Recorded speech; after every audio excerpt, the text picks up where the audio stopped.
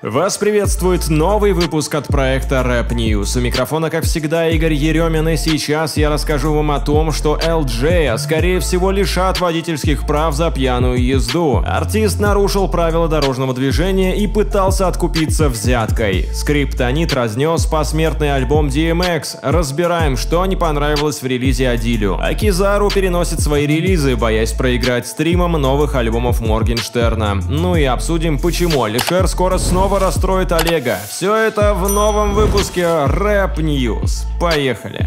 Дорогие подписчики Рэп News, хотите стильно одеваться и при этом не переплачивать? Тогда рекомендуем вам годный магазин кроссовок и одежды hustle.rf. У Hustle в наличии более 3000 кроссовок. Редкие эксклюзивные модели, которые вы не увидите в обычных магазинчиках, а материалы качества не уступают оригиналу. На сайте только реальные отзывы покупателей, которые можно проверить. Да, и мы сами лично все проверяли и ручаемся за этот магазин. Самое главное, у Хаслов есть бесплатная доставка и оплата при получении. Если вам товар не подошел, его можно вернуть. А для наших подписчиков действует промокод RapNews, дающий скидку аж 30%. Не переплачивайте в других магазинах и покупайте стильные вещи и кроссовки на Hustle RF по доступным ценам. Переходите и убедитесь сами. Ссылка в описании под видео. Не забудьте, промокод поможет сэкономить. 27 мая в центре Москвы произошла неприятная ситуация с участием рэпера LJ. По данным СМИ, Алексей сел пьяным за руль и мчал со скоростью 2 230 км в час, из-за чего сотрудники ДПС предприняли все, чтобы остановить автомобиль рэпера. Но он, конечно же, не стал этого делать, попытавшись скрыться от полиции. Началась погоня, в результате которой LJ все же остановили.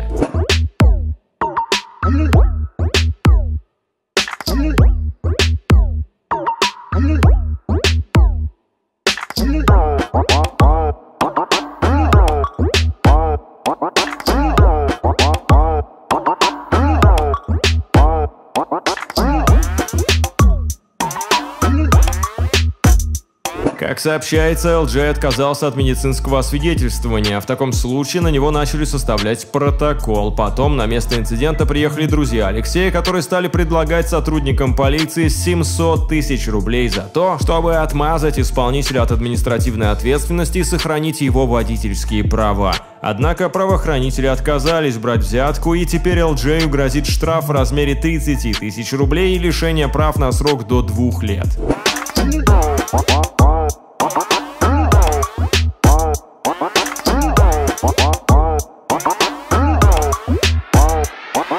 Известно, что суд над исполнителем состоится в ближайшее время. Все мы знаем, что ЛДЖ и его жена Анастасия Ивлеева большие любители нарушать правила дорожного движения. По некоторым данным, у парочки около 600 неоплаченных штрафов на двоих. Большинство нарушений за превышение скорости. Кстати, сейчас начали ходить слухи о том, что рэпер и блогерша расстались. Леха остался жить в семейном особняке, а Настя сняла квартиру в центре Москвы. Фанаты заметили, что Ивлеева перестала носить обручение обручальное кольцо, а инцидент с задержанием Лехи она никак не прокомментировала. При этом поступает информация, что в момент происшествия Ивлеева находилась вместе с пьяным ЛДЖем. МВ, за рулем которой сидел певец Алексей Узенюк, известный любителям рэпа под псевдонимом ЛД, преследовали сразу несколько экипажей ДПС. Спустя день ЛД поспешил оправдаться, посвятив своему задержанию целый клип и трек. Или, может быть, это и вовсе было вбросом для промо новых работ. Если коротко, то артист заявил, что ДПСники сами пытались состричь ему денег, а друзья рэпера, которые предлагали им кругленькую сумму, просто угорали. В конце музыкант и вовсе сказал, что прошел тест на наличие алкоголя в организме, который подтвердил его трезвость.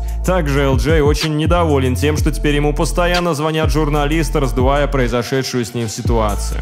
Они не знали, что я просто угораю И в пятером меня качали на котлету А мне нужны лишь федеральные каналы Ведь мне не помешает промах за завтрашнему треку. Во всех новостях журналисты повсюду. Дом, квартира, офис, студия. Они нашли почти все мои адреса. Стоило просто отказаться поссать. Так легко на тебя попасть Пали как ловко, прыгаю в заголовке А всего лишь стоило не сделать установку Поехали в больничку сотрудникам ГАИ Я подул им в трубочку, и там были нули Клип же выглядит больше как нелепое оправдание, чтобы защитить репутацию и не показать себя в плохом свете перед общественностью. Глупо оправдывать взятку как угар. В других странах за такой угар дают 7 лет колонии. Не находите ли это детскими оправданиями вы, нежели весомой аргументацией своих действий? Почему некоторые рэперы до сих пор думают, что если они звезды, то им все дозволено? ПДД одинаковы для всех, а выпустить клип с оправданиями – это посредственный прием. Лучше бы оплатили штрафы и соблюдали правила. Грустно, что для звезд главная их репутация, нежели жизнь людей. В эту пятницу вышел долгожданный посмертный альбом легенды DMX, который являлся кумиром детства многих наших зрителей, да и нас самих. Напомним, артист скончался в апреле этого года от передозировки наркотиками в возрасте 50 лет. Стоит отметить, что эта пластинка была готова еще за несколько месяцев до смерти исполнителя. Эрл уже вот-вот хотел ее выпустить, но, к сожалению, попал в больницу, а итог вы знаете.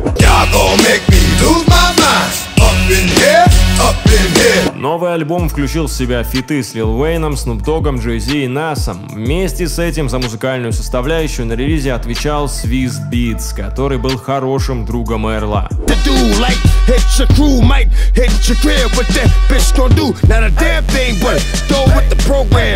Работа очень сильно срезонировала на Западе, при этом, например, Скриптониту она не понравилась. Казахстанский артист разразился в стори с критикой музыкальной составляющей альбома. Он заявил, что Swiss Beats все испортил своими битами. Негодованию Адиля просто не было предела. Отметим, что скрип очень редко высказывается в адрес чужих релизов, но данная ситуация, видимо, слишком сильно его задела. К слову, без всяких анонсов, Скриптонит на следующий день выпустил новую сольную композицию «Будьте здоровы». Работа является большим экспериментом Адиля с огромным количеством использования из различных сэмплов. В том числе Скриптонит засэмплировал в треке и собственный голос. Отметим, сейчас он готовит альбом на английском языке и новый альбом от своего сайт-проекта группа Скриптонит.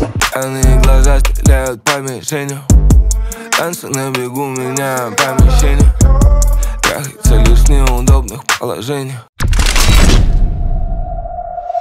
вы уже все знаете о конфликте Кизару и Моргенштерна. Еще год назад Олег обещал выпустить новый релиз в свой день рождения в 2021 году. Однако в это дело вмешался Моргенштерн, который выпустил в день рождения Олега свой альбом «Миллион долларов радости». Все хотят еще, еще, я хочу на счет. Тогда Кизару промолчал и отложил публикацию своего материала, а позже заявил, что его новый релиз состоится 28 мая. Но Моргенштерн снова подколол барселонского артиста и выпустил в этот день еще один альбом. Выпустил его Алишер так громко, что Кизару пришлось экстренно уже официально перенести свой релиз. Скорее всего, это связано с тем, что он банально не хочет проиграть конкуренцию уфимскому хитмейкеру. Ребят, я понимаю, что вы ждали очень сильно. Спасибо вам огромное за это.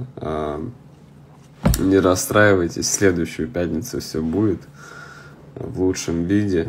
Теперь новая работа Олега должна выйти 4 июня, но тут опять загвоздка. Дело в том, что в новом альбоме Моргенштерна «Бизнес на миллион долларов» слушатели увидели намек на выход третьей пластинки, что будет уже окончательным ударом по планам и ожиданиям Кизару. Вся теория о возможном выходе третьего альбома Алишера заключается в этих строчках. Бич, я согласен, плохой 2020 Три баксов, я даже не старался Да я сверхразум, заскамил всех разом Бог любит троицу, ем евробаксы. Мор...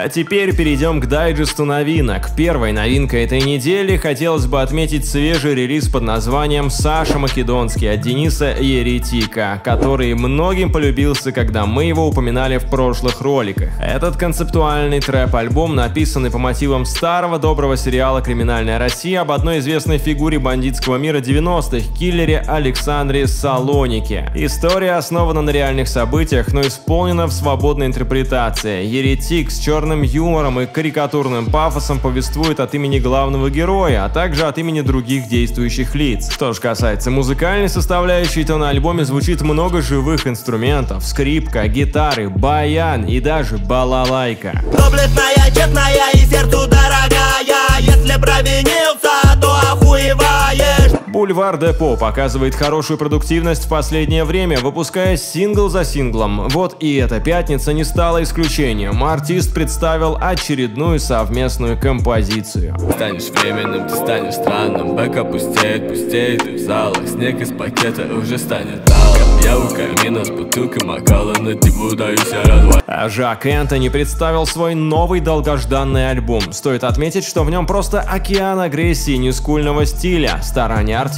тепло приняли его слушатели. Двумя путями не пойти, полил это со дна Думай, но не говори людям о своих делах На YouTube-канале Street Beat TV вышло очередное разговорное видео. На сей раз гостем шоу стал Марат Сквозь Баб, который обсудил все самые актуальные события в русском рэпе и не только. Треки у тебя, конечно, замечательные. Вот, Марат, ничего не От сказать. души, да. от души, спасибо. Один из самых ярких фрешманов последних месяцев, Love 66, выпустил свой новый альбом Physical Pain. На фитах отметился Trill Pill. Ответил ей на стори а, Уже этим вечером я спускаю ей прямо в роте Мне не нужно твое сердце, я нуждаюсь только в плоти У меня суки на любой вкус, и ты одна из них. И Люмейт представил новый альбом, где окончательно решил отдать предпочтение нью-скульному звучанию. Где бурь,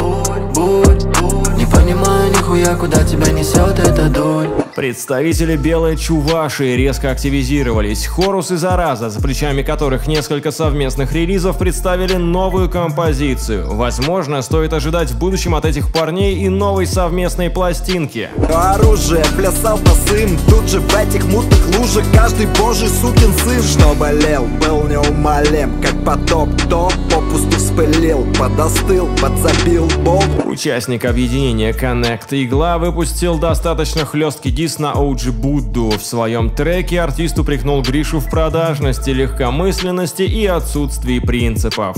Серьезно могу вас ёбнуть, нет, мне не нужен, братик, твой соус Ведь каждый из вас по факту сейчас клоун. Ведь на фидок вы прыгнули смачно к тому, кто на писе видел ваш рэпчик Вы же шалавки, стало понятно Легкие бабки, шмали таблетки. Открытие 17-го независимого батла рэпер Кантервиль представил свою новую композицию со сладкоголосыми оттенками.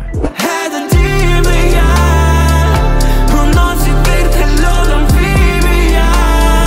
Хан Андреевич Замай решил порадовать свежим альбомом, в котором исполнитель прибавил искренности и абсурдности в текстах.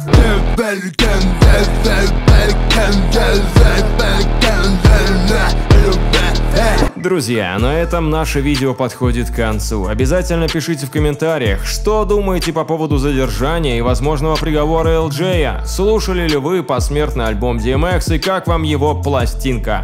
А также ждете ли вы третий альбом Моргенштерна и новый поворот в конфликте с Кезару? А для вас этот выпуск озвучивал я, как обычно, Игорь Еремин. Любите хип-хоп и соблюдайте правила дорожного движения.